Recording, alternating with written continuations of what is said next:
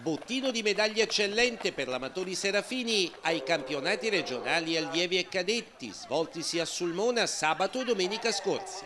Sono stati quattro i titoli abruzzesi conquistati, otto le medaglie d'argento e una quella di bronzo.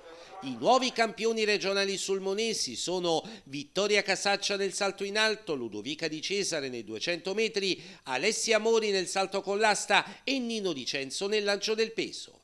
Sono saliti invece sul secondo gradino del podio Remo Palazzone nei 110 metri ostacoli, Daniele Silvestri nei 100 metri ostacoli e nei 2000 metri, Sergio Colan nei 1000 metri, Lucia Santucci negli 80 metri ostacoli, Nino Di Censo nel lancio del martello, Milena Micale nel salto in alto e Ludovica Di Cesare nei 100 metri piani.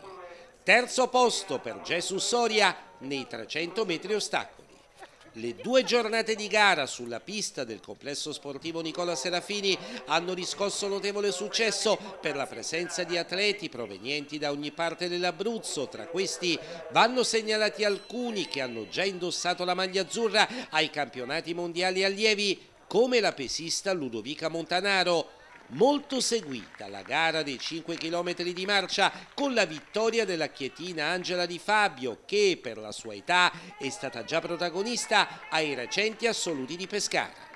I campionati regionali di Sulmona hanno consentito ai tecnici di individuare gli atleti che andranno a comporre la formazione abruzzese che sarà impegnata di Sernia al Trofeo Nazionale Musacchio sabato 22 settembre e il 6 e 7 ottobre a Rieti ai campionati italiani cadetti.